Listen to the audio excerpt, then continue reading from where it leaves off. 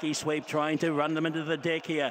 Leads by two. And they're, they're, coming after it now. We've got Vici. Stephen James out deeper. Wider out. So you sparkle closer in Sinarahma and Jake the Muss. Down to the 200 they come. Lucky sweep the leader. Irish Flame has joined the frame uh, very quickly now. Irish Flame ranged up to uh, coming through on the inside. Sinarahma and battling on also Vici. Irish Flame. Sinarahma over on the inside at the line. Irish Flame. Irish Flame for Leith Innes wins it. Sinarahma